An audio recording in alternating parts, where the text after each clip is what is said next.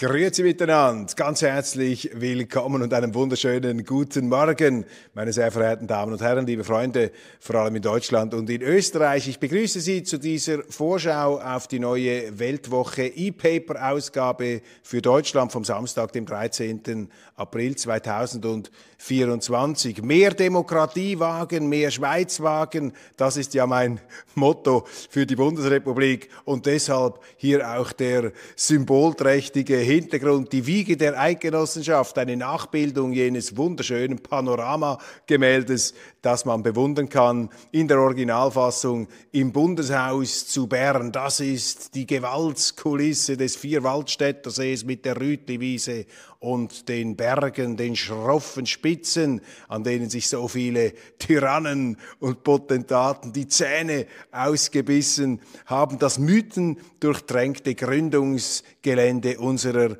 Eidgenossenschaft unserer Alpendemokratie oder müsste ich sagen Alpenanarchie, denn die Schweiz ist vor allem die bestorganisierte Anarchie des Abendlandes. Und wenn wir vom Vierwaldstätter See, von der Rütliwiese sprechen, von den Ureidgenossen Uri, Schwyz und Unterwalden, dann darf natürlich Wilhelm Tell der Sagenheld nicht fehlen mit der Armbrust und seinem Walterli, der Mann, der dem fremden Vogt Gessler in Habsburgs Diensten den Garaus gemacht hat, äh, unsterblich festgehalten vom deutschen Nationaldichter Friedrich Schiller. Er hat das in Worte gegossen, in eine Sprache, in eine Poesie gekleidet, die auch den Schweizern erst so richtig bewusst machte, wer sie eigentlich sind. Sie sehen also, auch Deutsche haben sich gelegentlich in schweizerische Belange eingemischt. Deshalb ist es doch auch einmal umgekehrt legitim, wenn sich ein Schweizer wie ich mit deutschen Fragen befasst, eine wirklich äh, bleibende, eine Ewigkeitshymne auf die Schweiz, auf die Freiheit von Friedrich Schiller, Wilhelm Tell hier die Figur im Hintergrund aus Bronze. Aber auf der Gegenseite ein Gegenstück zu Wilhelm Tell gewissermaßen, aber auch prägend für das Werden und Wirken der Schweiz, Napoleon Bonaparte, hoch zu Ross, äh, beim Ritt über die Schweizer Alpen Pässe der noch junge Empereur am Anfang seiner stratosphärischen Laufbahn. Die Franzosen haben ja mit ihren Revolutionstruppen, mit Napoleon die Schweiz erobert. Er hat versucht, die Schweiz einzugliedern in seine Neuauflage des römischen Imperiums im Zeichen des römischen Feldadlers auch. Aber auch Napoleon ist gescheitert. Die widerspenstigen Eidgenossenschaft haben sich da, Eidgenossen haben sich nicht einklinken, eintopfen lassen da in sein zentralistisches Gebilde. Und wenn man die Geschichte da studiert, wie die Franzosen, wie die Napoleon-Franzosen versucht haben, die Schweiz äh, sich da unterzujubeln, äh, dann fühlt man sich äh, erinnert etwas auch an die Diskussionen, die es heute gibt zwischen der EU und der Schweiz. Äh, es zeigten sich nämlich schon damals institutionelle Unverträglichkeiten. Die Schweiz nämlich ist von unten nach oben aufgebaut und nicht von oben nach unten. Und das Frankreich Napoleons war sozusagen der Inbegriff eines zentralistischen, von oben nach unten gebauten Staats. Und die Europäische Union ist es eben auch noch. Und deshalb ist die Tatsache, dass die Schweiz da nicht dabei ist, im Grunde auch für die Europäer, für die EU-Europäer, denn wir sind ja auch Europäer, für die EU-Europäer ein Zeichen dafür, dass ähm, etwas nicht stimmen kann, dass eben der Demokratie- und Freiheitsgehalt dieses EU-Gebildes äh, nicht so strahlend und groß ist, wie man das in den EU-Sonntagsreden so gerne rhetorisch beschwört. Da gibt es eben Demokratiedefizite und die Schweiz als besonders demokratisches Land, wobei ich uns da nicht auf ein Podest stellen möchte, die Schweiz als besonders demokratisches Land empfindet das natürlich. Wenn du von unten nach oben gebaut bist, hast du eben Mühen, Mühe, wenn dir von oben etwas aufgestülpt werden soll. Das ist äh, im Verlauf der Geschichte der Grundkonflikt. Nichts Neues unter der Sonne. Schon der Wilhelm Tell hat sich gegen die fremden Vögte gewehrt. Napoleon war einer und der musste ja dann 1803 mit mit der Mediationsakte sich gleichsam wieder etwas aus dem Staub machen, hat die Schweiz dann stärker sich selber überlassen, allerdings nicht ohne vorher den Berner Staatsschatz und die zwei äh, Bären aus dem Bärengraben nach Paris zu schleppen. Das Geld, das er der Schweiz damals geraubt hat, Bern übrigens als ehemalige ähm, europäische Militärgroßmacht unglaublich reich. Das Geld wurde dann verlocht und verpulvert im Russland-Feldzug. Da war es dann dahin mit der ganzen Herrlichkeit. Aber das hier sozusagen eine Nachempfindung der schweizerischen Geschichte und mit dem pädagogischen Auftrag, mit der pädagogischen Absicht ins Bild gerückt, in Deutschland immer etwas ähm, Sympathie zu schaffen, aber vielleicht auch etwas Inspirationen zu liefern. Mehr Schweiz wagen, mehr Freiheit, mehr Demokratie und ja, in kriegerischen Zeiten auch mehr Neutralität wagen. Das neue E-Paper, die neue Ausgabe, da geht es auch um die Demokratie, es geht um die Diskussionskultur. Redet mit allen, aufhören mit Cancel Culture und Ausgrenzungs- Fimmel mit Kontaktverboten, das grassiert ja geradezu in Deutschland. Da ist äh, die Bundesrepublik dabei, sich aufzuspalten, sich aufzusplittern, die verschiedenen Milieus in Gesinnungsgemeinschaften, in Stammesgemeinschaften, Gleichgesinnter. Man redet nicht mehr miteinander, man belauert, man beobachtet sich. Ah, an welcher Party war der jetzt? Ist ja völlig verrückt. Jetzt müssen sich in deutschen Zeitungen schon Politiker rechtfertigen dafür,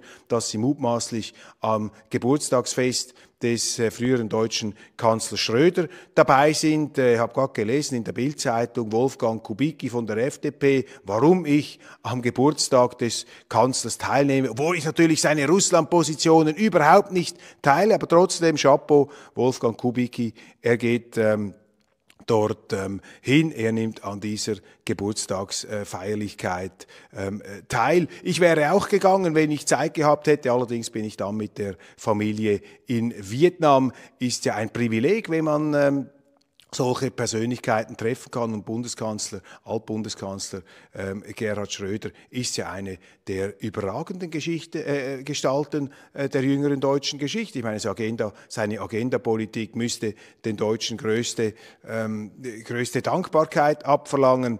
Aber in der Demokratie ist es nicht so weit her mit der Dankbarkeit. Man hat es ja auch gesehen bei Helmut Kohl, den haben sie ja ähm, sehr eiskalt ähm, aufs Abstellgleis äh, gesetzt damals. Da ging es ja um Spendenthemen, um äh, Geheimspenden ähm, in der ähm, Phase seiner äh, Kanzlerschaft mit der äh, CDU, CSU. Also vielleicht auch ein nicht so schlechtes Zeichen letztlich, wenn man da das Positive auch sehen will, die deutsche Demokratie insofern demokratisch vital, als man nicht dazu neigt, bestimmte Politiker zu verherrlichen. Und wenn es dann fertig ist, ja, das gibt es halt oft in der Demokratie, dann äh, wird man plötzlich da etwas in den Schatten gerückt. Nehmen Sie auch einen Winston Churchill, der ist ja ähm, gleich ähm, kurz nach ähm, Beendigung des Zweiten Weltkriegs, den er ja gewonnen hat, abgewählt worden. Also diese Schonungslosigkeit, die sehen wir nicht nur in Deutschland, die sieht man, sieht man auch anderswo. Aber eben das Thema ist die Cancel Culture, ist die Ausgrenzung, ist die Tatsache, dass man nicht miteinander redet. Und wir rufen in Erinnerung, dass eben das Wesen der Demokratie darin besteht, dass alle miteinander, alle mit allen über alles reden sollen. Das ist ja auch die Stärke, das ist das Wesen der Demokratie, das macht sie stärker ähm, als die Despotie, wo eben einer oder eine kleine Gruppe den Takt vorgibt, das allerdings sind Tendenzen, die man jetzt auch in der Bundesrepublik beobachten kann, auch rechtlich, dass da versucht wird, die Meinungsfreiheit einzuschränken. Ich bleibe da immer zuversichtlich. Ich glaube, jetzt übertreiben es die Regierenden, es übertreiben die Behörden und das wird Widerstand hervorkitzeln. Außerdem eine gute Nachricht, ebenfalls Bravo ähm, an die Kollegen der Welt, die das Fernsehduell veranstaltet haben zwischen Björn Höcke und Mario Vogt aus Thüringen, dem AfD und dem CDU. Vertreter. Das ist Demokratie. Da hat man ja auch ein Riesentheater gemacht, ob das überhaupt zulässig sei. Ich meine, was hat man da für Vorstellungen?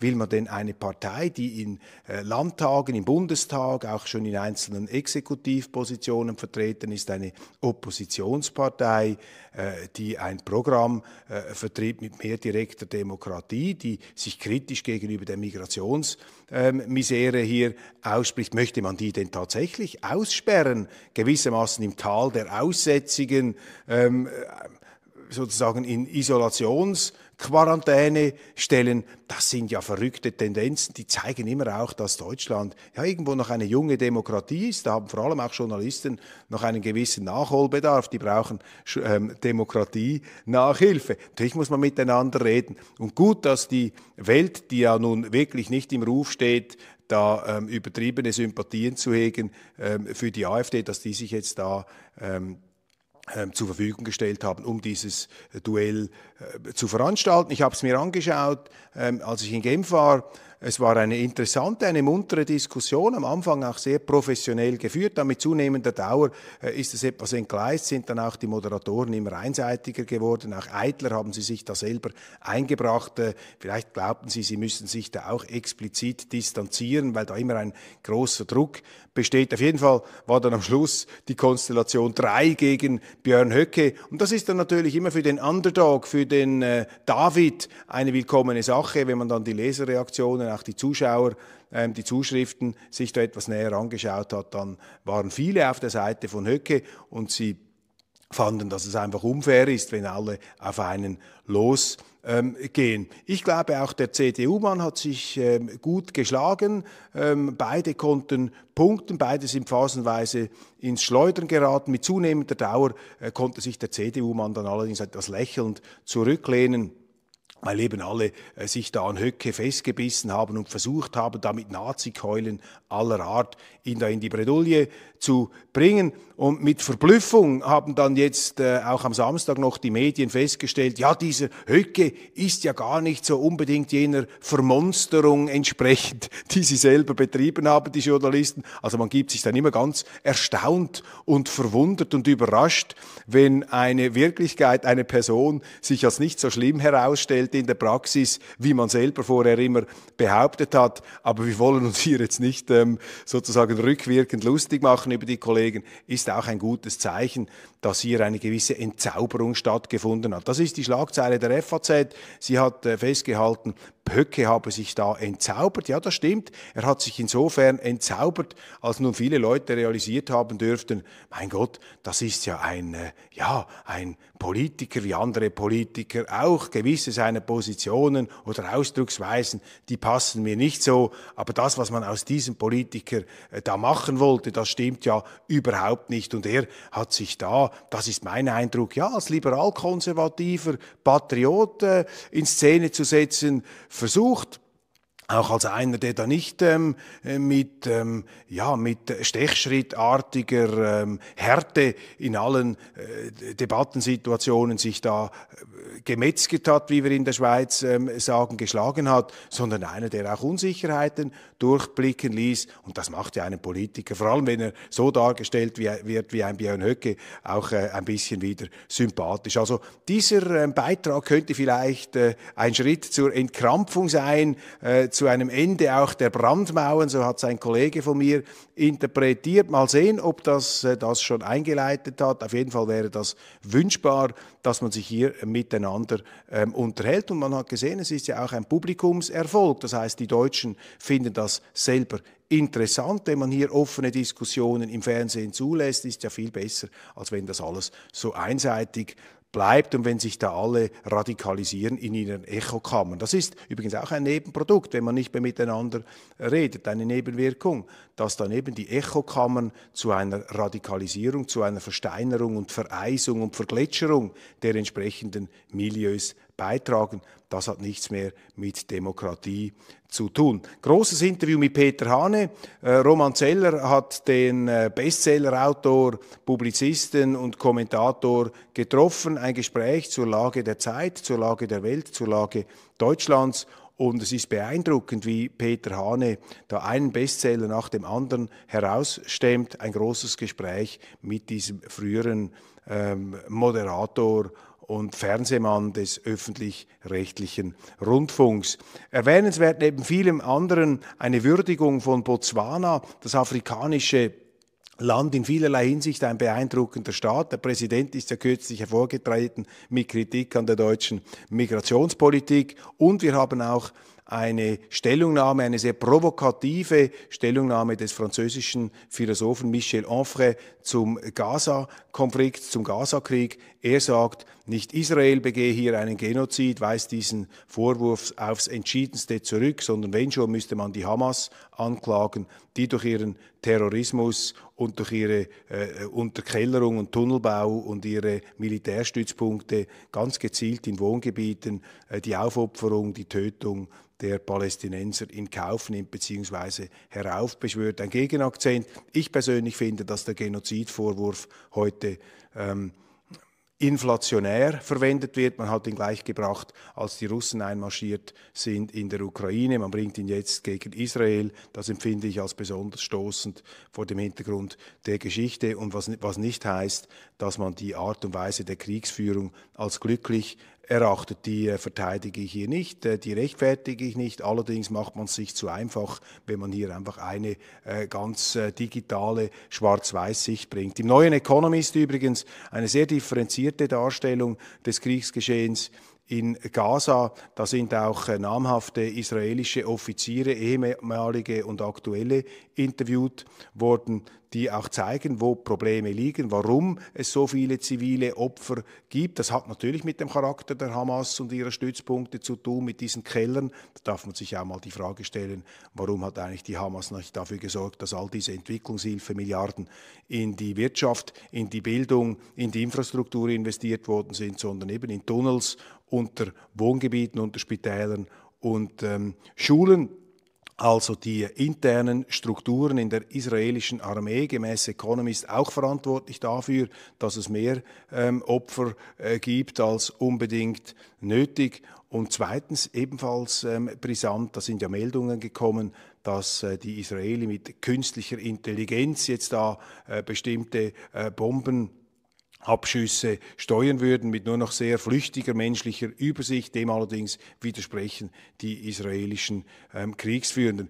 Außerdem darf man nicht vergessen, dass die Israeli die Palästinenser warnen, äh, die Zivilisten, bevor sie bestimmte Gebiete angreifen. Auch das widerspricht da diesen klärenden und gleißenden, ähm, vernichtenden Kommentaren, die jetzt äh, gelegentlich zu lesen sind. Aber eben, es ist ein Krieg, der natürlich die Menschen aufwühlt und der eben dazu führt, und das war wohl auch das äh, Kalkül der Hamas, dass sich da Israel mit dieser unvermeidlichen ähm, Abschreckungskriegs ähm, äh, äh, Kriegsanstrengung, mit diesem mit diesem Abschreckungsmanöver, das jetzt auch stattfindet. Es geht natürlich auch darum, hier ähm, diesen Terrorismus ähm, nicht nur zu entwaffnen und zu zerstören, sondern eben auch für die Zukunft zu schauen, dass so etwas nicht mehr möglich ist.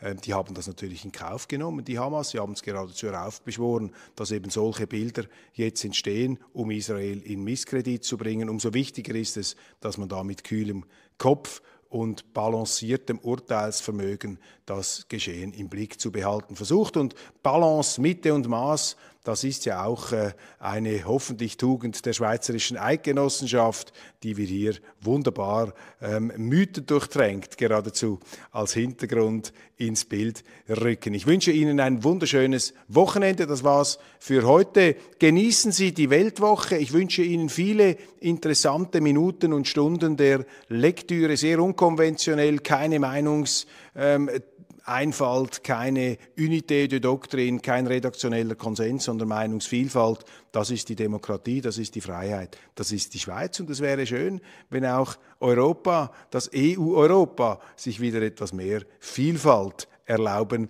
würde. Machen Sie es gut, bis bald, ich freue mich aufs Wiedersehen.